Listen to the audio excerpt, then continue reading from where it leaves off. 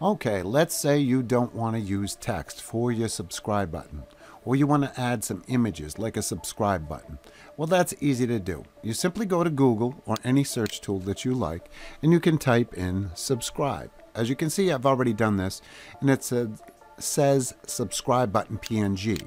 That is what you're looking for. You want to look for the PNG.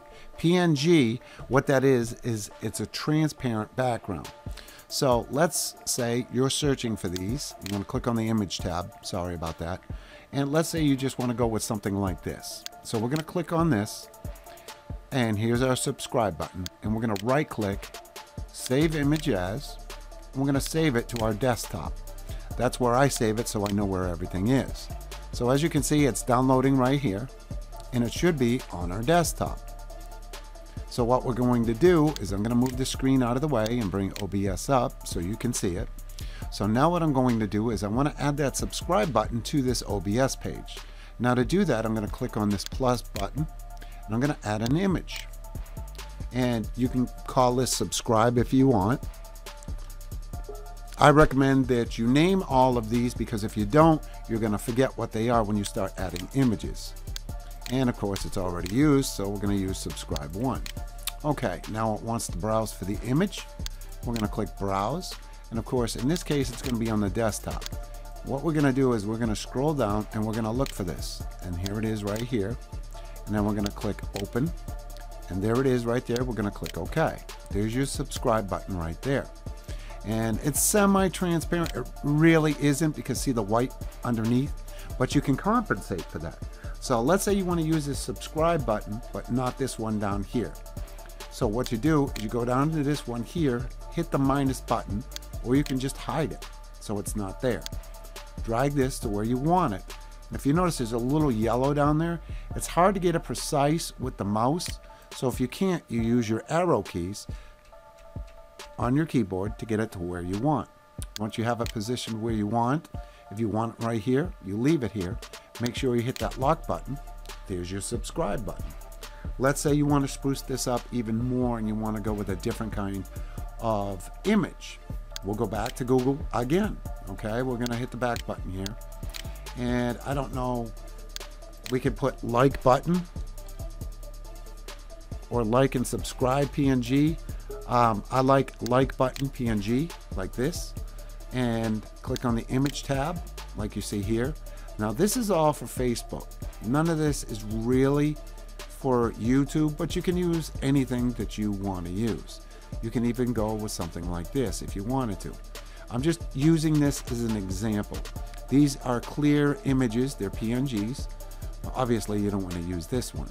But let's say you like a YouTube image, you can go with that. But we're here for the like button, not for this one, even though it is funny. Um, this one's pretty good. I like this one. So even though it's a Facebook, I still like it. I'm going to click on it and I'm going to right click and I'm going to save the image as and I'm going to save it to my desktop. I know it starts with 590 and it's saved. Now I'm going to move this window out of the way. Now we're going to add another image. We're going to add that like button. To do that, we're going to click on the plus button again. We're going to click on the image. And for this, we can type in like if you want. Just like that, we're going to click the OK button. And then we're going to click on the Browse button. And now we're going to go searching for the like button. We're going to try to find it. And there it is right there. Click on it, click Open, and click OK. Now if you notice, this is here.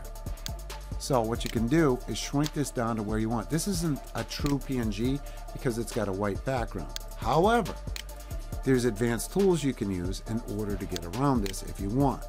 Now to do that, where the like button is, right click on the like button, click on filters, scroll down just a little bit. We're going to get this out of the way so you can see what things look like.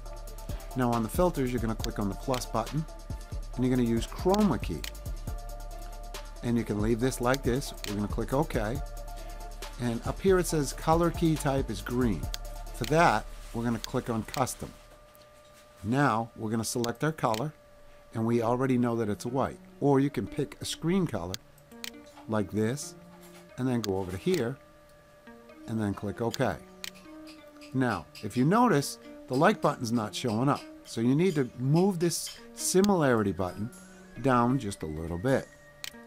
So if we move this out of the way, there's your like button. It doesn't look half bad, really. I would leave it like that, me personally, and then click on the close button. So now you can resize it any size you want, and you can have this down here. Uh, one thing to keep in mind is this red box. Once you off click, it's not there. So there's your like button. You can leave that just like that if you want. If you like it like there, right where it is, then lock it, and now you have your like button. This is how you add your images to OBS. It's that simple, nothing to it. Well, that's it for this video. Please don't forget to hit that like and subscribe button and watch for the next one.